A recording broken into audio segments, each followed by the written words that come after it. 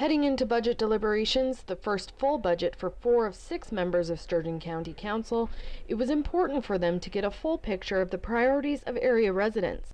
Council and administrative staff made themselves available at two community meetings held this month, aimed at generating discussion with residents about what they'd like to see in the upcoming year. It's the best way that I know to get residents and the community to tell us the things that are on their mind in a very relaxed sort of fashion where they can tell us the things and not feel intimidated.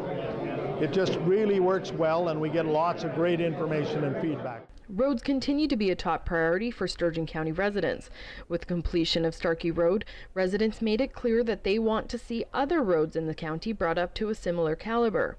Sturgeon County Mayor Tom Flynn says these comments will be front of mind as council heads into budget deliberations. Number one issue in the county is roads, roads, and roads.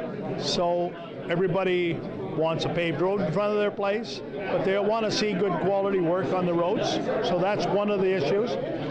The level of traffic on some of the highways is a concern to them, knowing very well that we can't do the work on the highways, but we can influence the province to do that. So that's really important to them.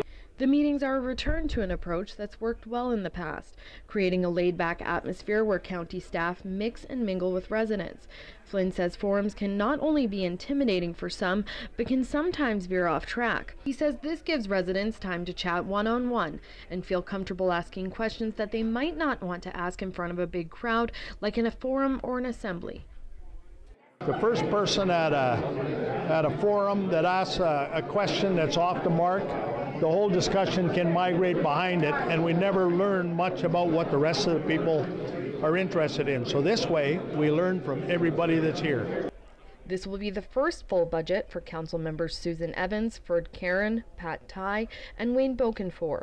Meetings like this are vital, says Evans, as they're able to hear firsthand from residents what they'd like to see in the upcoming budget.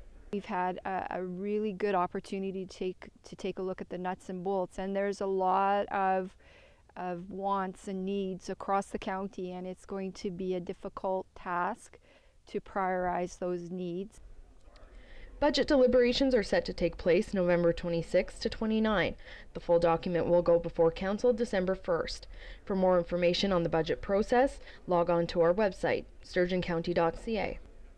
For Sturgeon FYI, I'm Allison Sauls.